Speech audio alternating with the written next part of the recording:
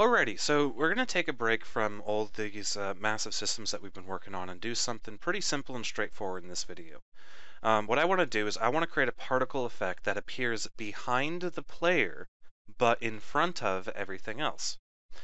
So let's go ahead and see the problem. I'm going to go ahead and go to Game Object, hit Create Other, and go to Particle System to create a particle system.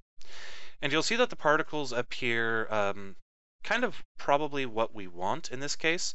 Uh, you see they appear above all the other sprites, but you'll also notice that they appear above the player, and that's not what I want. What I want is I want a particle trail to appear behind the player um, as he's moving around. So what I'm going to do is I'm first of all going to design the particle system and then I'm going to show you guys how we can make the particle system appear uh, above the backgrounds but behind the player by using sorting layers. But you'll notice that there is going to be a case where we aren't going to be able to do that within the editor itself and we'll have to write a script to handle that for us. So let's go ahead and start off by creating the um, uh, creating the particle effect the way we want it to. So what I want the particle effect to be is I want it to be um, shooting out of the player like that. In addition, I want to go down here to the simulation space and set it to world. And the reason I want that is I want this to be a particle trail. So notice that if I set the simulation to world, the particles, and I move the particle system, it will actually trail. And that's what I want. Next up, for the emission, because again, I want this to be, a, I want this, the, the trail to be um, simulated by using the world space, I want to give the speed of these particles a zero. So watch what happens when I give the speed to these particles a zero. While I move it, you'll see it starts to trail to wherever it was moved to. All right, looking good. So now what I want to do is... Indeed we are. Sweet. So now what I want to do is I want to increase their size a little bit. Um, or maybe, maybe in fact, let's uh, go ahead and do a size over lifetime. So I'll set their start size to 1, and I'll go over to their, um, uh, their size over lifetime, and I'll set that to a curve that looks like that. So you see they kind of get smaller over the course of their life. So that's what I want. Uh, let's go ahead and do a color over lifetime as well. Uh, let's do a, um, a gradient where we start kind of bluish and then we kind of fade into maybe a, um, a darker blue. And then for my opacity, which are these handles up here, I'll want to set their alpha to zero so that they um, they'll fade and they'll get smaller, which will give us kind of the effect we're looking for for a nice little blue particle trail. The final thing that I want to work on is the emission. So let's set the emission to something like uh, like 70 so that there's more of these guys. Um, let's see here. Yeah, 70 should be good. And then I want to go ahead and do their shape. Now for the shape, I don't want it to be a cone. Let's do a sphere. And then let's take the side, the radius of the sphere and bring it down a little bit. So now we have this. Now watch what happens when I move. You see there's a nice little little trail being left behind by our player, and then these particles kind of fade.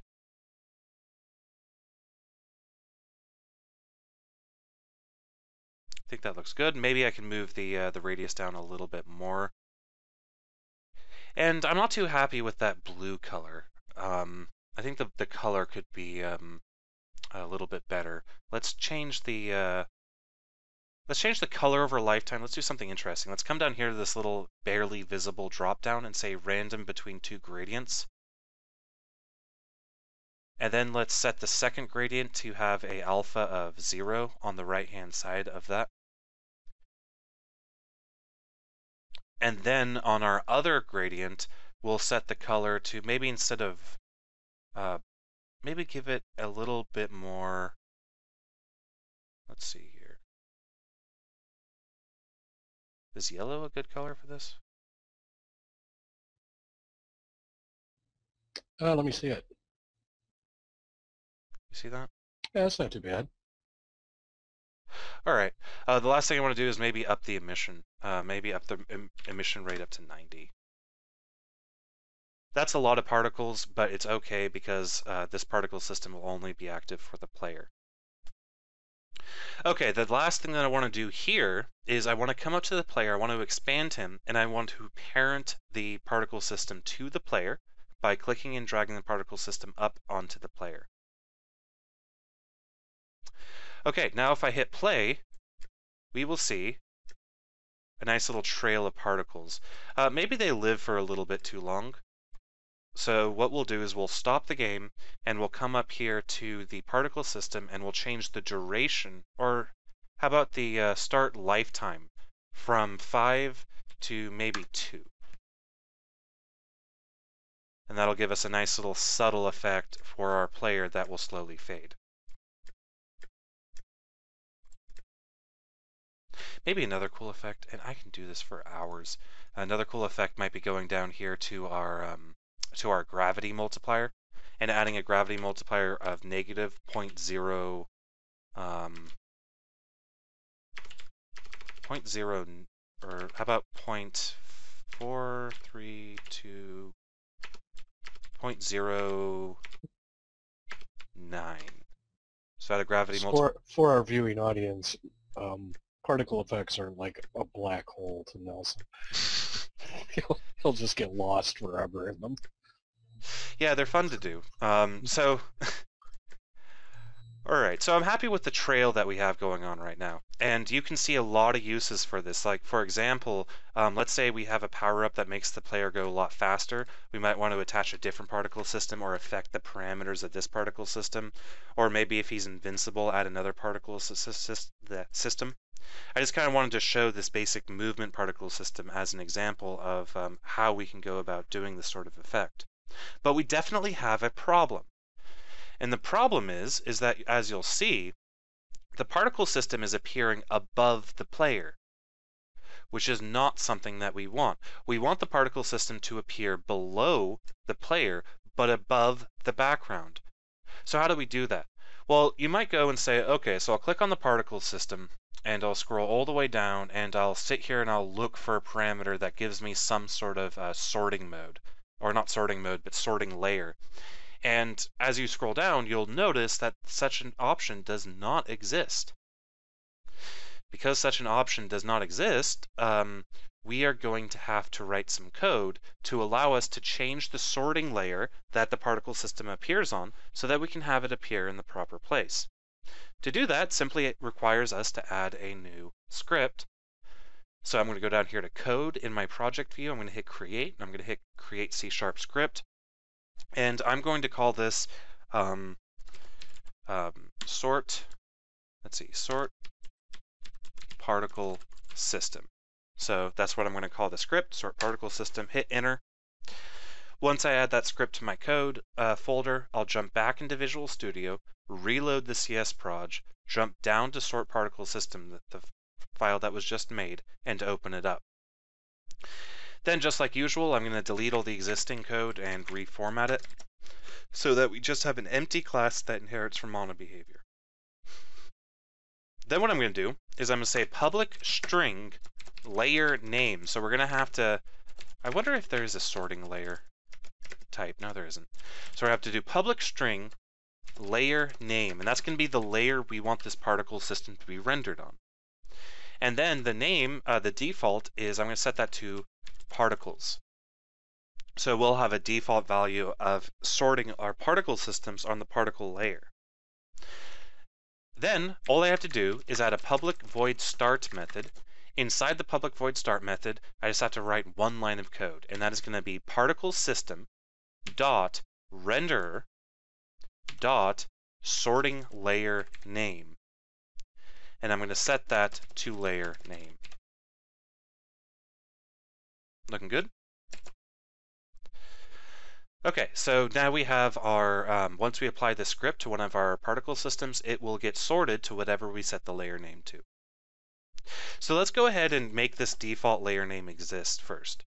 I'm going to go back into Unity, and I'm going to go up here to my Layers dropdown, and I'm going to click on it, and then I'm going to select Edit Layers.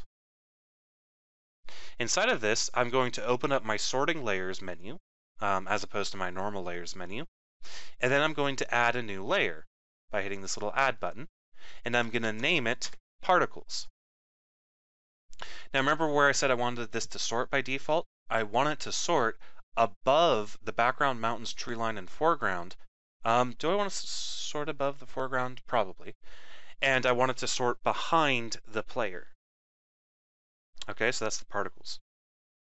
Now you'll notice this doesn't actually affect anything yet, and the reason it doesn't affect anything yet is because we haven't gone into the particle system yet and added the, um, uh, the component. So I'm going to come up here and I'm going to say add component, and I'm going to type in sort, and I'm going to add the sort particle system component to it, which of course is going to give it a layer name of particles by default because that's what I put in the code. Now watch, watch what happens when I hit play.